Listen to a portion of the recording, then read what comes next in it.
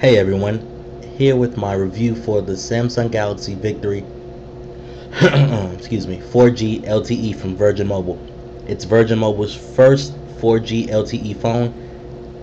And uh, before I get into the phone, let me run down some specs to you. It has a 1.2 gigahertz dual core processor. It has a 5 megapixel rear facing camera as well as a 1.3 megapixel front facing camera. It has a 4 inch screen with 800 by 400 pixel density. It has a 2100 milliamp hour battery, which touts up to seven hours of uh, usage, and it has four gigabytes of internal memory with the micro SD card uh, slot that allows up to 32 gigabytes of memory expansion, and that's that. So, as you can see here on the front of the screen, here's your 4 inch screen you have your uh, front facing camera up here at the top left. You have three hardware buttons at the bottom. Uh, menu home and back. At the bottom of the phone you have your charging port and microphone. Um, on the right hand side of the phone you have your dedicated camera key. On your left hand side you have a micro SD card slot as well as your volume rocker. On the back of the phone you have your uh, camera and flash. And then on the top of the phone you have 3.5 millimeter headphone jack and a power button. So inside the phone the phone is running uh, Android Jelly Bean which is Android 4.1 and it has S Beam. It has S Voice which is like uh, Samsung's version of Siri for the iPhone. It has Wi-Fi Direct. It has NFC and it has Google Now, which is pretty much exclusive to uh, Jelly Bean devices.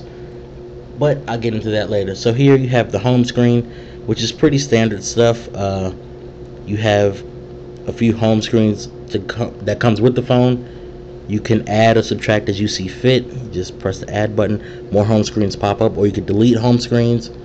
Um, you have four quick app uh, slots down here, which is your apps that you use frequently, and you can't change them. Just flick them away or bring them down. And uh, the only one you can't change is, of course, the app tray button, and that opens your app tray. And here, your, your apps. Uh, things that come with the phone are pretty standard. Your Google uh, Play magazines, Play movies, etc. And uh, yeah, then you have your widgets, and uh, you have a few cool widgets that come with the phone. You have Assistive Light, which is uh, a flashlight. You have your alarm clock widget, etc. Calendar, and yeah, a few, a few cool widgets and that's that. And here in the notification bar you have uh, here you go. You have your brightness right from the start. You have Wi-Fi Bluetooth GPS etc you have the date and you have settings key right there. Into your settings you have uh, Wi-Fi Bluetooth same stuff pretty much. You have your settings for NFC S-Beam uh, yeah. And that's pretty much it for settings. I'll show you the lock screen really quickly. The lock screen uh, is pretty cool. It's like your standard uh, ice cream sandwich lock screen or whatever but at the bottom you can have a news source or you can have a Facebook feed there. And uh, that's pretty convenient. It's pretty cool. You can just scroll through the news right from your uh, right from your lock screen. But anyway thought that was pretty cool. So the first thing I'll go into is the browser.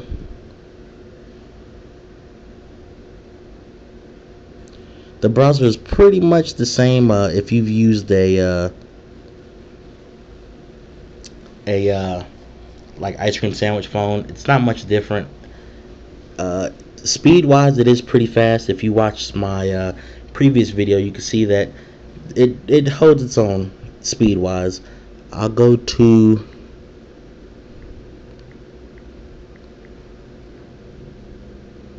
cnet.com and as you can see this is the mobile site but it pulls up pretty quickly. Uh, pinch to zoom without any uh, you know pixelation or anything like that. Pretty cool. And you have your settings right there. All you gotta do is press on the screen.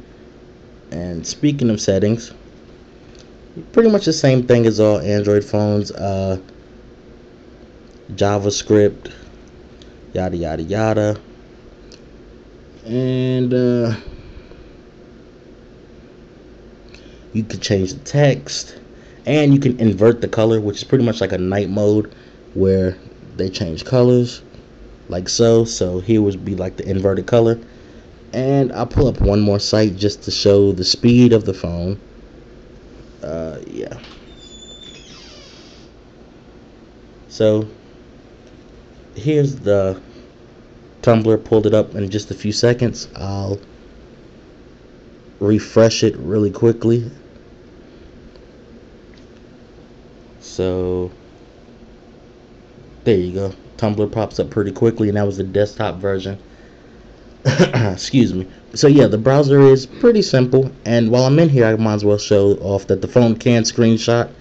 Uh, all you have to do is press the power and the home button and hold it for a minute and voila screenshot is saved as you can see there. So the phone again does screenshot. Um next thing I'll show off is the camera for the phone and yeah so here's the camera. It is pretty basic. It has a few filters uh, black and white sepia negative settings shooting mode effects panorama. So pretty uh, simple. Uh, it does take decent uh, pictures. It does take decent pictures. The front facing camera as well takes decent pictures. The video comes out nice and clear. Uh, no complaints about the camera and uh, the flash is pretty nice as well. And one cool thing about the camera is it is uh, voice activated. So here I'll try to take a picture really quickly. Uh, smile. Smile. And there you go. As you can see it captured the picture. So that's a pretty cool feature uh, just being able to tell your camera when to take a picture is pretty cool and the last thing I'll get into in part one of this video is uh, Google Now. It's Google's like uh, I don't even know I guess kind of like a Siri type feature. You can ask it a question and it uh, pulls up the information right away. Kind of like an updated Google search and I'll test it out right here. What have to do is go from the home screen and ask it a question. Did the Heat win last night Magic 108 to 94. And so it's pretty cool. Uh, you can ask it pretty much anything. It'll pull it up, and after a while, it starts to keep track of things you asked, and uh, pulls it up there automatically when you open the app. So uh, that's a nice touch to Jelly Bean. So yeah, in the next part of the video, I'll go over S Voice. I'll go over gaming, messaging. Uh, and everything I left out of this video. So please like and subscribe, and please stay tuned for part two um, to see what I left out of this video. Have a good one.